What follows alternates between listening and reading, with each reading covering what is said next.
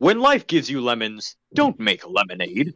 Make life take the lemons back. Get mad. I don't want your damn lemons. What the hell am I supposed to do with these? Demand to see life's manager.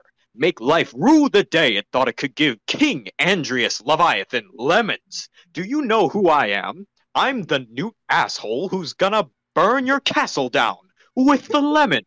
I'm gonna get my Frobos to invent a combustible lemon that burns your house down. I'm gonna take a shit.